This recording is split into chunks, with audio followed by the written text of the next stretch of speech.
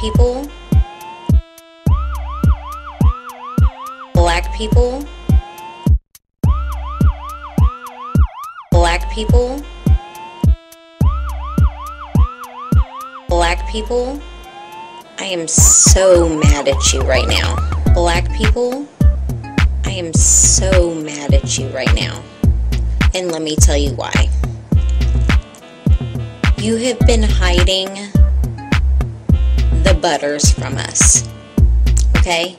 You don't outright hide the butters, but you just don't communicate how wonderful the butters are. And when I say the butters, I mean the cocoa butters, the shea butters, stuff like that. Um, once you have tried the cocoa butter, lotion is not the business okay? Lotion is more like flavored water putting on your skin. The butters is where it's at. Black people, you've been using the butters for years.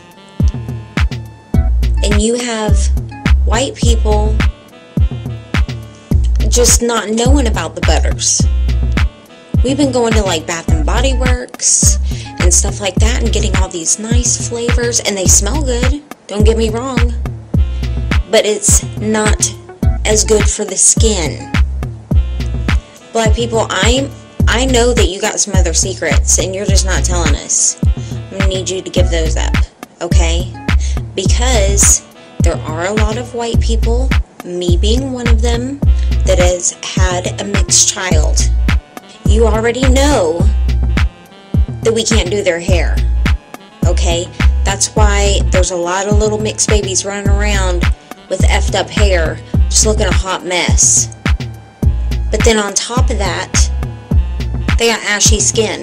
We've been putting lotion all over their skin. My baby was so ashy for years that I was not afraid for him to be kidnapped because I knew we could just follow the trail of ash and find him.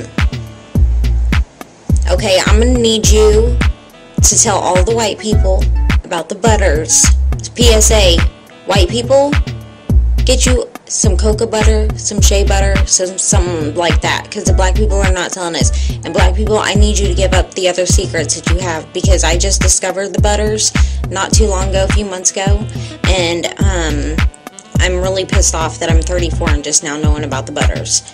What other things are you hiding from us? You need to tell me now.